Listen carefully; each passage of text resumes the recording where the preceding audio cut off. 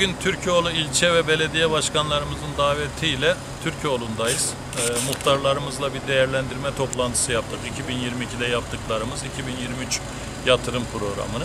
Memnuniyetle gördüm ki Türkoğlu e, muhtarlarımız, vatandaşlarımız iktidarımızdan, Cumhurbaşkanımızdan, belediyemizden memnunlar. Bunun mutluluğunu gördük.